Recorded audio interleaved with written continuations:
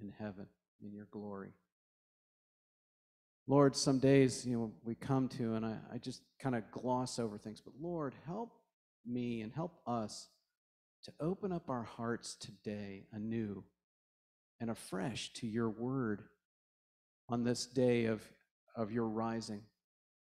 God, help us to see Easter as something to be celebrated, not just glossed over as a day we get off from, from work or things. But Lord, help us to see Easter in a way that we make our, our eyes see it something new today, in a way we've never seen before. These things we pray. Amen. Resurrection Sunday here at New Song Community Church. It's so good to see everyone here today, your smiling faces. My name is Ashley McGlone, and I'm one of the pastors here at New Song. So thank you for making New Song a place where you want to spend Easter with us. Uh, our ushers are going to be passing out some cards for everyone here so that you can use to follow along with the message today. And for those of you who are listening online, you can download a PDF of this card at our sermon that's posted today. Well, since the dawn of time, people have looked at the heavens and assigned meaning to what they observe. In modern society, this has been met with a lot of skepticism. But did you know that God intended to speak to us through the heavens? The Bible says so on the opening pages and then over and over from cover to cover. Well, after today, you'll never see the moon in the same light, and you'll never see Easter in the same light either. I spent the last two and a half years studying the heavens and being amazed at God's glory. And I've discovered a profound connection with Easter. These conclusions I have arrived at on my own as I studied the heavens, and I can see how God speaks to us through His creation. And the more I study, the more I understand, and the more I am in awe of what God has done in every little detail of His creation that He intends to communicate to us. And today, that's what I'm going to share with you. So I'm asking you to hang with me today. I promise this is going to come around to Easter after our, my, uh, my opening here, but, but I need to know am I off base? Am I crazy? So please pay careful attention as we go along today and let me know what you think. So today we're going to talk about nightlight, the eternal witness of Christ. So, God speaks to us through the Holy Spirit. As believers, Jesus told us that the Holy Spirit would lead us into all truth. Then, believers moved by that same Holy Spirit wrote the scriptures that we hold in our hands today or browse on our phones today. And the Bible speaks to us uh, God speaks to us through His community, through one another, because the Holy Spirit lives inside of us and He works through the lives of others around us to speak to us and guide us. And He also speaks to us through His creation. Psalm 19, like so many other passages in Scripture, tells us about this. The heavens declare the glory of God, and the sky above proclaims His handiwork. Day to day pours out speech and night to night reveals knowledge. In Genesis 1, when God created the heavens and the earth, it tells us this specifically about the sun and the moon. And God said, Let there be lights in the expanse of the heavens to separate the day from the night, and let them be for signs and for seasons and for days and years. And let them be lights in the expanse of the heaven to give light upon the earth, and it was so. And God made the two great lights, the greater light to rule the day, and the lesser light to rule the night and the stars.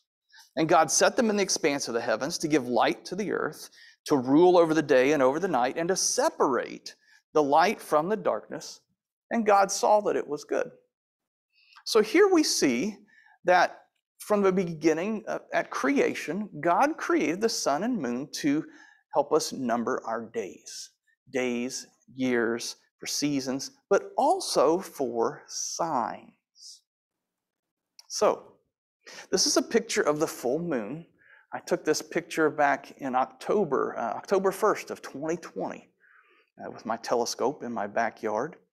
And I could just stare at this picture for hours and look at every little detail. It's just fascinating to me. Um, but what we're going to find out here is that this is the premise of, of, where we're going today at Easter. So, God gave us the sun and moon for signs and for seasons and days and years.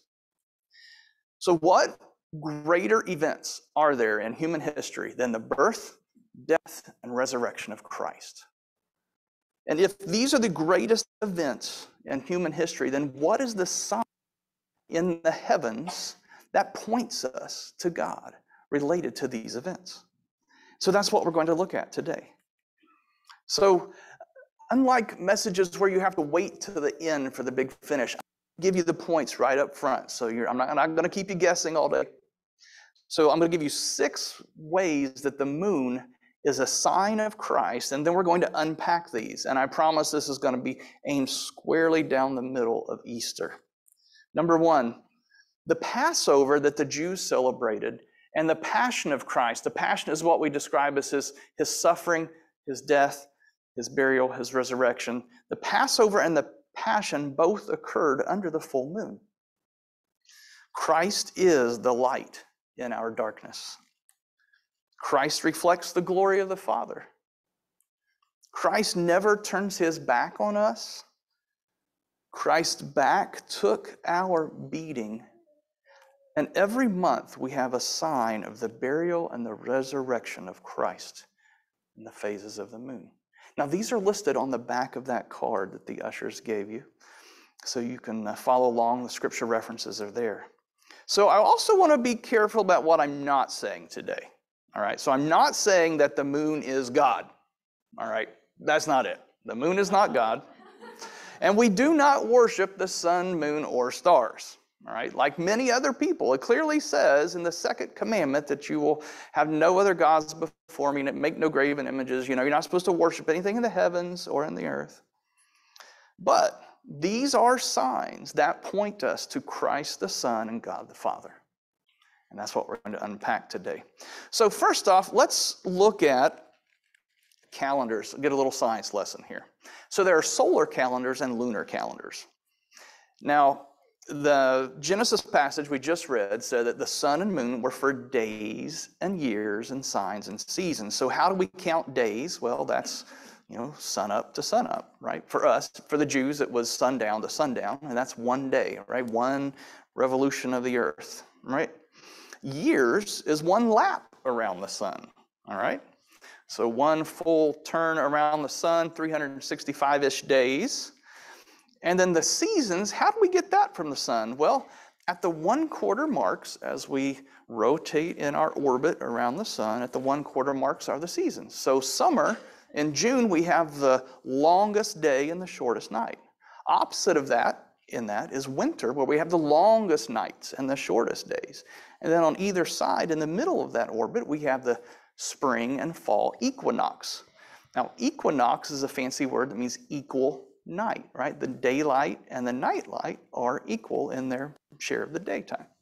So that's what equinox means. So the seasons are also marked by these the earth and its orbit around the sun. Now the moon on the other hand is a little different. So the word month, you can see I inserted an extra o there. The word month it comes from the moon. And the moon has about 29, that little squiggly means about 29 and a half days. Solar days, right? Have revolving turning of the earth. So about 29 and a half days in a month. And so you could already begin to see where the calendar that we follow gets kind of convoluted. There's not exactly the same number of days in every month. And also, the moon has quarters in its orbit around the Earth, and we call those the quarters, and they're about a week. And then, of course, judging by the sun, seven days equals exactly one week. So, from here uh, ensues all kinds of interesting ways that people in ancient times tracked time, looking at do we count it by the sun and by the days, or do we count it by the moon and the months? And because they're off just a little bit, it makes things interesting. So, this here is a calendar of this month, the month of April, which just so happens to line up very cleverly with April 1st being a new moon. Now, a new moon is when it's dark and we can't see the moon in the sky. Opposite of that would be like last night. Did anybody see the full moon last night? You have to stay up till after nine this time of year, but there's full moon out there glowing on the horizon as I was going to bed. And between that uh, new moon and full moon, you have the quarters. So you have the first quarter, the full moon, the third quarter, and then back to new moon. So that's the moon phases as they go. But notice that the full moon is somewhere, give or take, around the 14th day of the month 14, 15, 16, somewhere like that. All right. That's going to be the full moon in that monthly cycle. So, why am I going to this amount of detail? Well, oh, by the way, one month from now, we have the distinct pleasure of a full lunar eclipse. So if you like to get out and look at the heavens, uh, Sunday night, May 15th, going into Monday morning the 16th at 12, 20, 12 11 a.m., will be a full lunar eclipse. Now, these happen about twice a year, but it just so happens that we're on the part of the globe that can actually see it this time, which makes it special. So you, you don't want to just say, oh, I'll catch the next one, because it might be a while. So if you want to see the full moon lunar eclipse, it's coming up May 15th. All right. So let's get towards Easter a little bit. We're going to talk about the Jewish people first. Who were they and what was their defining? So the Jewish people uh, came from the, the line of Abraham in the Old Testament. But where did Abraham come from? Well, God created the heavens and the earth. He put Adam and Eve on the earth. He wanted relationship with mankind. In order to relationship, he gave them a choice whether or not they would choose to follow him or not. And over time, mankind began to follow other things, to follow the creation rather than the creator. So humanity is turning its back on God. God chooses one man, Abraham, and says, Hey, Abraham, I want to have a special relationship with you and your family for all the generations to come, and you'll be my people, and I will be your God. So that's where the Jewish people came from. Now, their most defining moment was Abraham had a son named Isaac. Isaac had a son named Jacob. There was a famine. They ended up in Egypt, and God took care of them, provided for them. But 400 years later, they were slaves. Things had turned bad for them. So here is God's people. They're slaves in Egypt, and God raises up a famous man named Moses who uh, began to talk to the Pharaoh. He came out of Pharaoh's house, actually, as a child.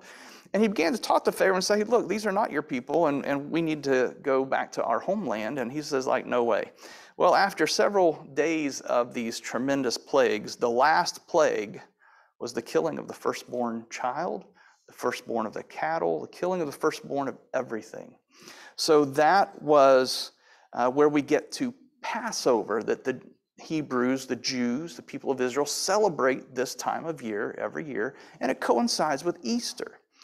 So their defining moment was this night when God told Moses to tell the people to sacrifice the lamb, put the over the house, and then the angel of death would not kill anyone in their home that night. It sounds pretty gruesome, and it was.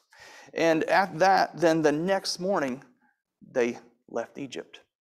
This was a very special meal of Passover. They're supposed to eat holding their staff with their shoes on, like they're ready to go out of town.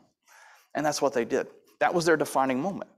So the Jews practiced a lunar calendar. In the Bible, we have the names of four of these months, and extra biblical Jewish literature will tell us what the other 12 months are. But the first month was Nisan, and the 12th month was Adar. Now, if you think about lunar months, 29 and a half days times 12 months is not quite 365 days in the year. So, how do we make up that extra little bit? They had a leap month. Every two or three years, they would throw in an extra month at the beginning of the year, and that's how they would catch up to the solar calendar. So, uh, you know, February 29th, every four years, that's pretty easy to figure out, but a whole extra month every two or three years, that's a little different, right? And how did they know when they were going to count their time as the people of Israel? God told them. So we're going to read here in Exodus 12. So the children of Israel there, their slaves. God's speaking to Moses and Aaron, and this is what he says. Uh, the Lord said to Moses and Aaron in the land of Egypt, This month shall be for you the beginning of months. It'll be the first month for the, of the year for you. Tell all the congregation of Israel that on the tenth day of this month, every man shall take a lamb according to their father's houses, a lamb for a household. Your lamb will be shall be without blemish, a male a year old, and you shall keep it until the fourteenth day of the month, when the whole assembly of the congregation of Israel shall kill their lambs at twilight. So this was a sacrifice to cover the people, cover their sins, and to protect them from the death that would ensue against the Egyptians that night as God brought judgment on the Egyptians. But notice that it was in the first month on the 14th day. Then they shall take some of the blood and put it on the two doorposts and on the lintel, the, the top of the door of the houses in which they eat it, and they shall eat the flesh that night. It is the Lord's Passover, for I will pass through the land of Egypt that night, and I will strike all the firstborn in the land of Egypt, both man and beast. And on all the gods of Egypt I will execute judgment. I am the Lord. The blood shall be a sign for you on the houses where you are. And when I see the blood, I will pass over you, and no plague will befall you to destroy you when I strike the land of Egypt. This is the pers- first part of this defining moment of Israel when God would pass over them. And so every year, then, they're to celebrate this. He says, This day shall be for you a memorial day and you shall keep it as a feast to the Lord throughout your generations as a statute forever. You shall keep it as a feast. Therefore, you shall observe this day throughout your generations as a statute forever. In the first month, from the 14th day of the month at evening, you shall eat unleavened bread until the 21st day of the month at evening. For seven days, no leaven is to be found in your houses. Well, what happened here is that uh, there was no leaven. Leaven uh, represented sin and pride. And so they would clean their homes of uh, leaven. They would even take, uh, tradition says they'd take a feather and a little envelope and go around just dusting every little possible bit of leaven out of their homes, even um, giving away leavened dog food to their neighbors, just so there was no leaven in their house, all right? And they would do that for seven days. So uh, when, we, when we understand the events of the Testament, then at the time of Jesus, there was Passover, and then immediately following was seven days of this festival of unleavened bread, matzah, they would call it. And the matzah is very symbolic as well. Ask me about it later. So then after that 14th night, they set out from Ramses, Egypt, in the first month on the 15th day of the first month. On the day after the Passover, the people of Israel went out triumphantly in the sight of all the Egyptians. And this was the defining moment for the people of Israel. Throughout Scripture, over and over, we have this Passover refrain. He said this was to be a memorial for the people every year in the first month on the 14th day, the first month on the 14th day, in the first month on the 14th day, in the first month on the 14th day, in the first month on the 14th day, in the first month on the 14th day for over a thousand years before Jesus. They were observing this pattern of a lamb that they would sacrifice on the first month, on the 14th day. And we see this all through Scripture. And even throughout Scripture, you can see this phrase when the Lord brought our fathers up out of Egypt. It was delivering them. And so this was marked as a memorial forever, for every generation, every year. They were conditioned by this to remember what God had done for them. So, how does that relate to Easter? Well, Passover has to do with this first full moon of the first month. Now, uh, you know, different holidays throughout the year usually occur on the same date. You know, December 25th is always going to be Christmas. However, why does Easter bounce around on the day that it's observed? Well, this was a hot debate in the early church. And they're trying to figure out well, we came out of the Jewish tradition, but we're not Jews, we're Christians, and we celebrate on Sunday. So we're going to observe our Easter celebration on Sunday, which is going to be the first Sunday after the first full moon after the spring equinox that we just talked about. All right, so this year, because there was a full moon right before the first day of spring, we had to wait almost a whole another month and then the next Sunday, which is today, and that's why we celebrate Easter today. It kind of approximates Passover on the calendar, recognizing our Jewish roots as believers. So let's get to it. And God said, Let there be lights in the expanse of the heavens to separate the day from the night, and let them be for signs, and for seasons, and for days and years. Now, after Moses, they entered the promised land of Israel. There were many kings, and the second of those kings was the most famous, King David. And David was a man after God's own heart. He was not perfect by any stretch, but David wrote this big list of songs for us to read that we call Psalms. And in the 89th Psalm, it talks about this. It says, His, David's offspring, shall endure forever. His throne as long as the sun before me. Like the moon, it shall be established forever, a faithful witness in the skies. So, David's offspring, Jesus Christ, would be a, uh, the promise fulfillment of this promise to David. So his throne, as long as the sun before me, like the moon, it shall be established forever, a faithful witness in the skies. So, what is a witness?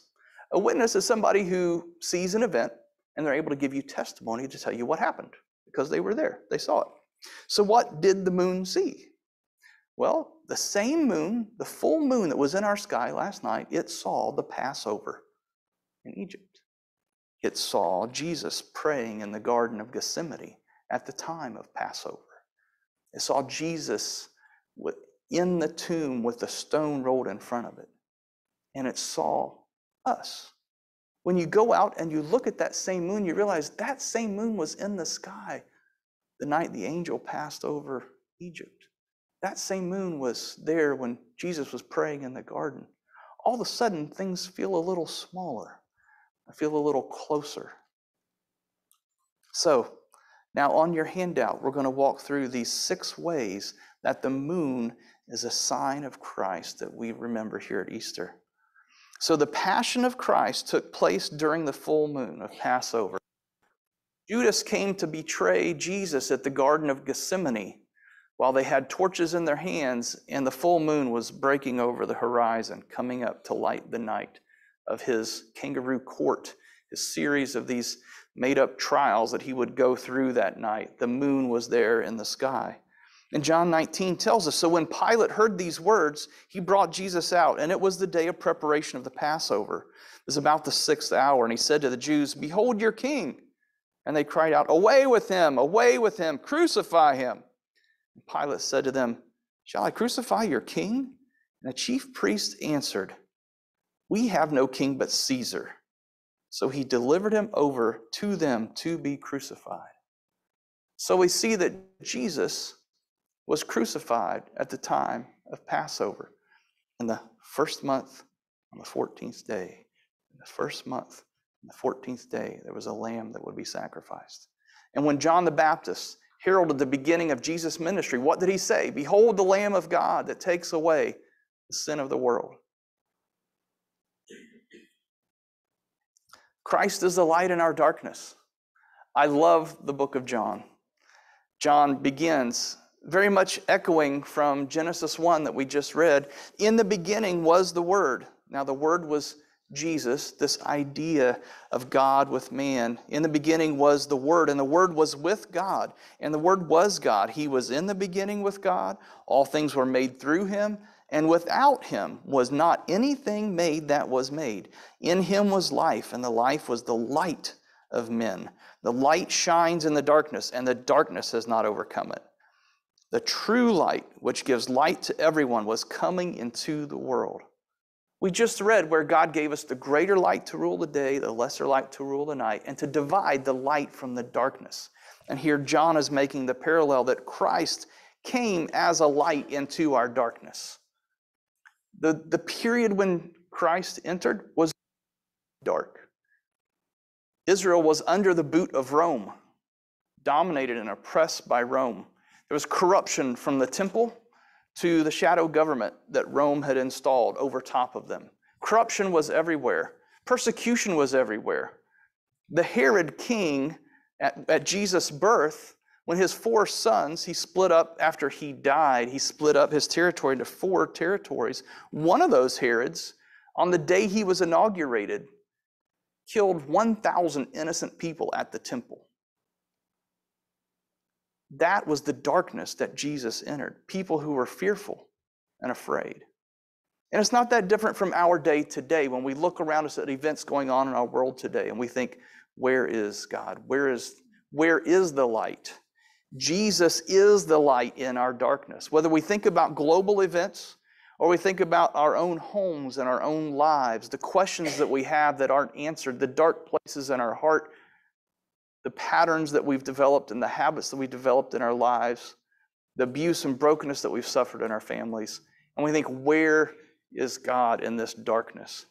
Christ came to be the light in our darkness. Regardless of what it is that we're experiencing right now, Christ wants to illuminate the darkness in your heart and life and to give you the answers that you have been seeking for years. The sun reflects the Father.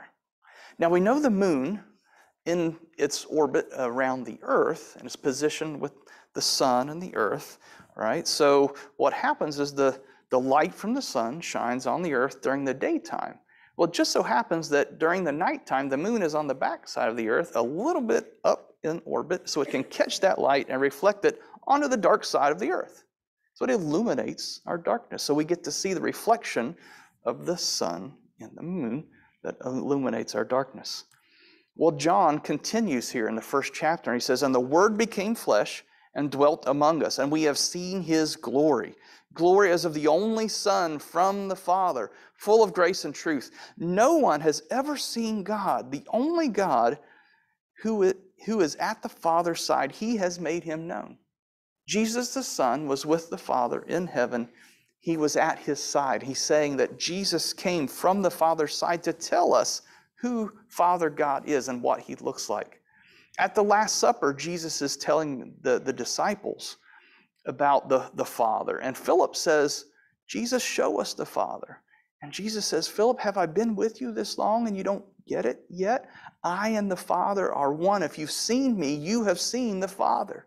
Jesus reflects the glory of the Father.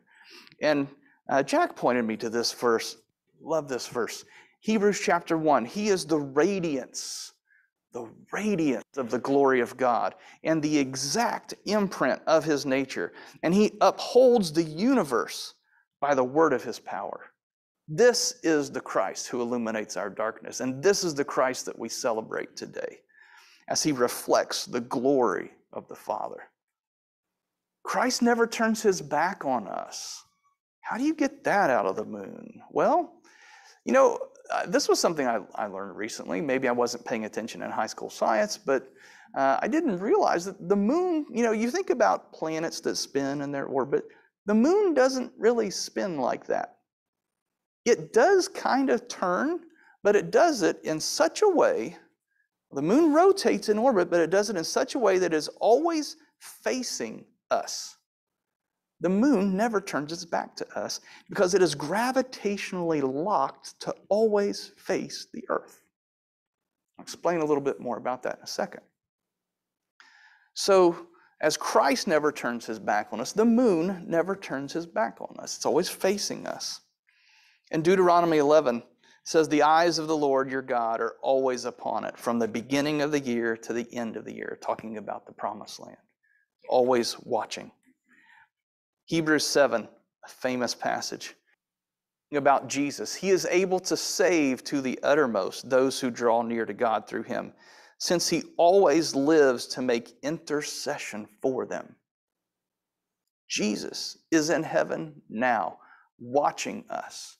His eye is on us. The Old Testament says we are the apple of God's eye. That means that we're reflected in his pupils. He's watching us. And not only is he watching us, he's praying for us. Jesus told the disciples, I've prayed for all of you that when Satan tempts you and tries to sift you, that you will survive and stand strong, right? So Jesus never turns his back on us, and he is always praying for us. Now, this the moon looks like. We can't see the backside of the moon because the moon is always facing us. But when the space people do their space thing and they take pictures back there, we can see it. Now, the back of the moon is illuminated by the sun, we just never get to see it. And as you can see here, while the front face of the moon is, it has some craters on it, right? But the back side of the moon, it is riddled with craters, peppered with craters from meteors and asteroids that have been inbound towards the Earth. And this tiny little moon blocked their trajectory to hit the Earth or burn up in our atmosphere, right? So the backside of the moon is cratered and cratered, craters on top of craters in places where you can look at these impacts. Isaiah 53.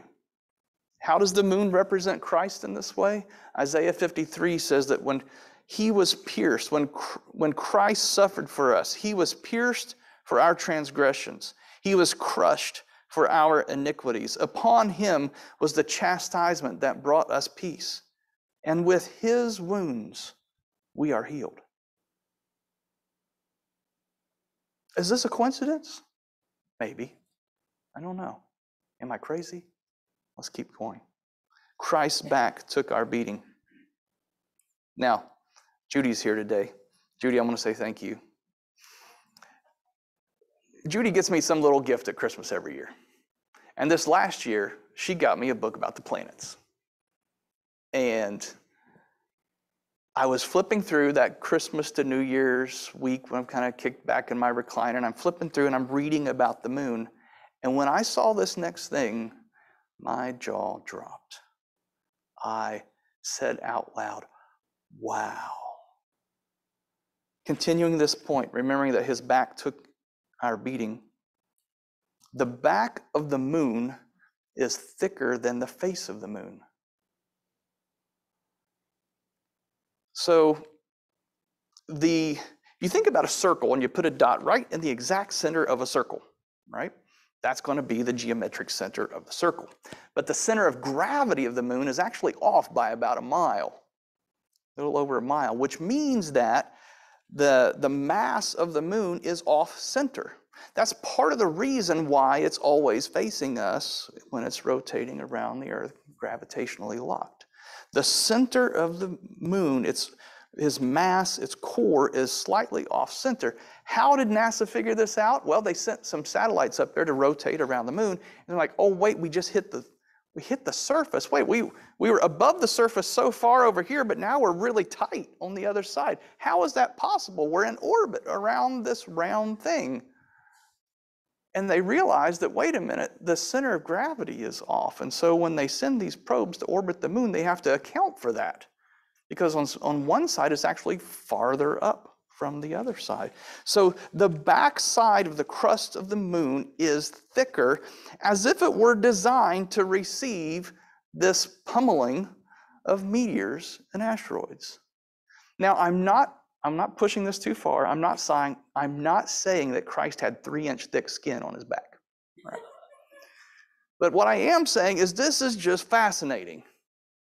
Make of it what you will. Now, this picture is uh, a graphical representation of the thickness of the face of the moon and the back of the moon. Now, if you look at the picture on the left, where you've got these blue and green spots, that's the face of the moon that points towards us.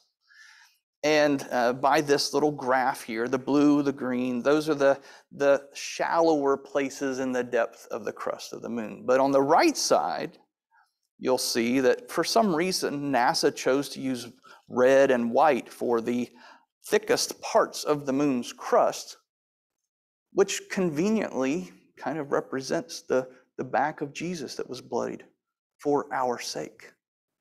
And I'm not making too much out of that, right? I just want to be careful not to push this analogy too far, but that you see that the back side of the moon was designed to take a beating as Jesus took our beating. for us at Easter. Now, one more. Exodus chapter 12. Remember, the Lord said to Moses and Aaron, In the land of Egypt, this month shall be for you the beginning of months. It shall be the first month of the year for you, the 14th day of the month, when the whole assembly of the congregation of Israel shall kill their lambs at twilight. So that was the Passover that we read earlier, happening under the full moon. Now let's pick this up in Matthew chapter 27 when we read about the darkness here. Now, from the sixth hour, there was darkness over all the land. This is when Jesus is on the cross, taking our punishment for us. There was, from the sixth hour, there was darkness over all the land until the ninth hour. And about the ninth hour, Jesus cried out with a loud voice, saying, Eli, Eli, lama sabachthani. That is, my God, my God, why have you forsaken me? He's actually quoting uh, Psalm 22 here. And then Jesus cried out again with a loud voice and yielded up his spirit. He died on the cross in darkness. And some people think, well, this was a, a, a uh, solar eclipse, but it's impossible to have a solar eclipse during a full moon because the moon's on the backside. It wouldn't be on the between us and the sun to block the sun's light. So I would personally, I'd kind of think this is just some dark storm clouds. We've all seen the darkest storm clouds in the middle of the day that blot out the sun. And certainly some thunder would be appropriate at this moment. So here is Jesus on the cross, surrounded by darkness. Other passages of scripture say that there was an earthquake, other signs that happened at this time when Jesus passed away. Now, following that, Matthew 28, this is the day that we're celebrating today, the resurrection. Now, after the Sabbath, toward the dawn of the first day of the week, Mary Magdalene and the other Mary went to see the tomb. And behold, there was a great earthquake, for an angel of the Lord descended from heaven and came and rolled back the stone and sat on it. His appearance was like lightning, and his clothing white as snow. And for fear of him, the guards trembled and became like dead men. So remember, the, the Romans had uh, sent guards to seal and guard the tomb that no one would steal his body because the, the Jews suspected his disciples might pull a fast one and steal his body because he told them that he would rise from the dead. But the angel said to them, Do not be afraid, for I know that you seek Jesus who was crucified, but he's not here. Just like we sang earlier, he's not here. He has risen. As he said, Come see the place where he lay. Then go quickly and tell his disciples that he has risen from the dead. And behold, he is going before you to Galilee, and there you will see him. See, I have told you. So they departed quickly from the tomb with fear and great joy and ran to tell his disciples. And what do you know? Jesus met them and said to them, Hi, greetings. Here I am. Here's Jesus, the resurrected Christ. Howdy. Here I am. And they came up and they took hold of his feet and they worshiped him. And then Jesus said to them, Do not be afraid. That's the same thing the angel told them. Do not be afraid. Now, this is different. This is weird. But yes, it's me. I'm back to life. Don't be afraid. And go tell my brothers to go to Galilee and there they'll see me. So, this is the, the glorious resurrection event that we celebrate on Easter Sunday. We have a reminder of this every month in the skies when we look at the, the phases of the moon. We have the darkness that surrounded the cross, the darkness of the tomb where Jesus was buried in the new moon. And then 14, 15 days later, we have this full moon the, reflecting the glory of the Father, so to speak. And so we have Jesus in all of his glory, his resurrection, his new life that he died to bring us is then reflected in that full moon every month. And then it, it wanes and waxes back and forth. And so we have this pattern, this reminder every month of the death, but the new life that Christ came to give us. So, as the Jews, year after year, in the first month on the 14th day, in the first month on the 14th day, in the first month on the 14th day, as the Jews celebrated the Passover every year, sacrificing a lamb, unaware of the coming Messiah who would fulfill that as once and for all, our sacrifice for all people for all time, one final lamb sacrifice. That is our defining moment as Christians. That's why for 2,000 years we've sang songs about and the blood and the suffering. And sometimes we, we sing these songs about there's a fountain filled with blood, and you're thinking, wait a minute, that's gross. A fountain of blood? Are you serious? That's just wrong. A fountain of blood? And you you you you cringe at these references in our hymns, and you're thinking, what is this? What is this about? And I had this revelation a, a few years ago that, you know what? If I ever get comfortable with that, there's something wrong. Because I should be appalled at this image of Christ suffering on the cross and bleeding for me. I should never be accustomed. I should never be familiar with that. I should never just accept that in my mind as business as usual because it was anything but that. So the empty tomb that we sing about, the, the fountain filled with blood, drawn from Emmanuel's veins, these hymns, these songs, this is our refrain every year. And every year, about this time of Passover, we celebrate our leaving of Egypt when God brought us out of the slavery of sin in our lives. So, am I crazy? Does this seem kind of off base to you at all? Well, there was uh, this guy named Sir William Herschel. He lived in the late 1700s, early 1800s, and he was a church musician. He played three different instruments. He wrote dozens of symphonies and concertos. But then on the side, he had this hobby of astronomy. And he got to building telescopes. And he started building telescopes, and and he realized that there's this type of called a Newtonian uh, reflector telescope. It's got a little mirror in the bottom of it. And he started learning how to, he was reading, studying how to make these little mirrors. And they're this concave mirror, and it's quite an art to it. And so he developed uh, some techniques and began making his own telescopes. And he had these mirrors that he would develop anywhere from 12 inches to four feet, big mirrors. The more light you can capture, the farther you can see in the heavens. And with his own homemade telescope, he was the first to discover a planet from the ancient times. In 1781, he discovered the planet Uranus with a homemade telescope. And he went on to uh, make many discoveries in astronomy. And then his, uh, his sister also Catherine, she was a big part of it. And she helped him in so many ways, helped him polish. He discovered many comets. He cataloged over 2,500 stars. And his sister uh, took that as well. And then his son, after he died, his son, because in the northern hemisphere and the southern hemisphere, you see different parts of the heavens.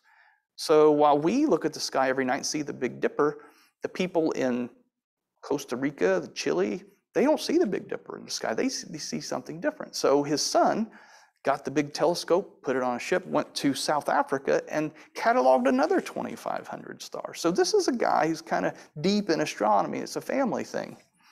And there was a really popular poem going around at the time that was translated into all kinds of languages, a very long poem. And there's a line in that poem that says, An undevout astronomer is mad. In other words, if you look at the sky and you say, there's no way there's a God that made that, you're kind of crazy. There's no way this was all random and just happened with a big splat. Okay, there's something behind this. There's some intelligent design going on here.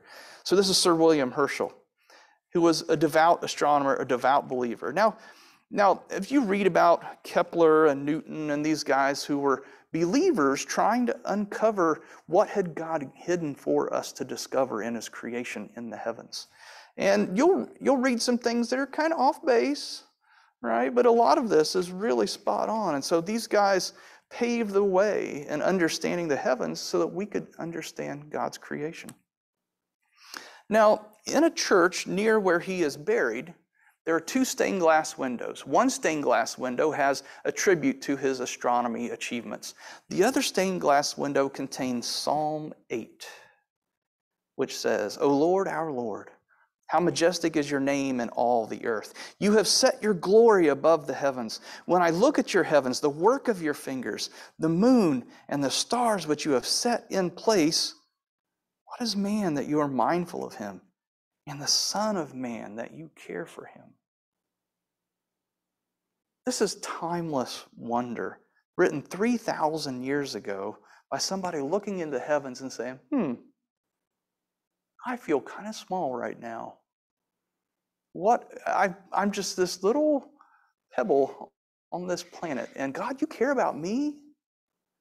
That's what David was saying when he penned these words.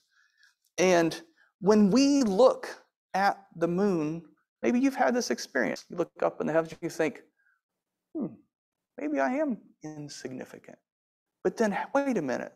The Bible says that God loves even me. How is that possible? This dissonance. Well, now, when you go out in the night, you could do that even tonight. It should be clear enough tonight to see the moon. And you look up at the moon, I want you to think about these things that the Passover and Passion took place under that moon that witnessed the full moon of spring. The Christ is the light in our darkness.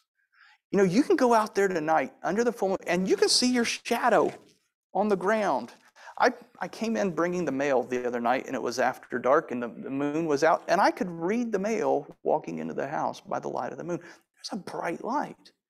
And boy, I tell you, if you look through a telescope, it'll about blind you. It's very bright. Christ is the light in our darkness. Whatever is going on in our life right now, where we're searching for answers and lost, He is there with the answers. Christ reflects the glory of the Father.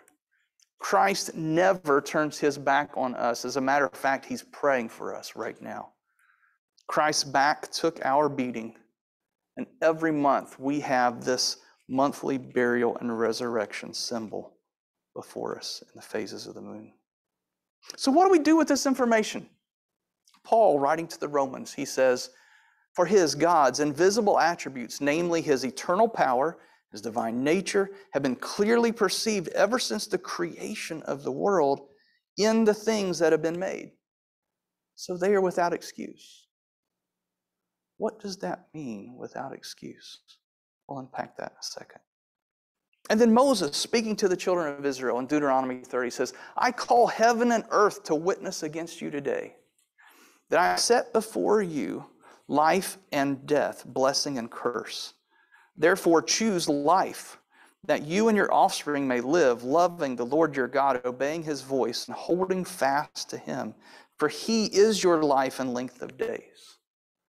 As the moon was a witness to the events of the Passover, events of Easter, the Passion, the moon is a witness, the sun is a witness, heaven and earth a witness to us today. Will we make the right choice? Will we choose life? Will we choose to surrender our lives to God? Will we enjoy the love and obedience relationship with God? Is that our choice today? So now I ask you, is this crazy? Is this going too far? Today we've revealed meaning that God left for us to discover in creation.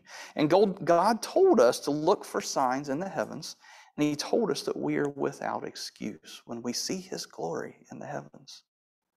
And the opening pages of the Bible tell us that God created the heavens and the earth, and then he created humans and gave us the intellect and the heart to perceive him and to have a relationship with him like nothing else he had made in creation. And then he put clues for us throughout his creation to point us back to him. Now, in the beginning, man had relationship with God, but then we began to worship the things that he created rather than the creator himself. And we viewed ourselves complete without him. And that was wrong. That's what we call sin. When we make our own decisions and choose our own way, leaving God out of our lives, that separates us from God. Let me say that again. When we make our own decisions and choose our own way, that separates us from God, leaving God out of our lives. And God wants to have a relationship with us because that's why He made us, to know us. And that's why Christ came to show us the way back to God. And here we are today celebrating Easter when we remember not only the sacrifice of Jesus on the cross, but his resurrection from the dead, proving that God has power over life and death. And it's in that victory that we celebrate today, and it gives us freedom over our sin and restores our relationship to God the Creator. As we read in Romans chapter 1, God says that we are without excuse. What does that mean? It means that we have observed His glory in creation, and we will live in sin until we recognize that God is the Creator and the authority. And when we tell God that we are sorry for our sins and that we will choose to live under His authority, we call that repentance. So I ask you today do you feel near to God or far from God? Near to God or far from God? If you feel far from God, and I pray that observing Him in creation today, as we have, has brought you closer in your heart and mind to a place where you're willing to submit your life to our Creator. Now I'm going to pray. I'm going to share some announcements. And then at the close of the service, there's going to be some people down front here to pray with you if you'd like to make peace with God and to welcome His light into your darkness. Let's pray. Father God, we thank you for revealing yourself to us in Scripture and creation. Thank you for sending Christ to be the light in our darkness. Thank you that He took our punishment and rose to give us new life. I pray that you would give us opportunities to share this hope with others today and this week. And for those who saw you in a new light today, I pray that they will repent and make you Lord of their lives. Lord, may we all stand in awe of who you are. In Jesus' name, amen.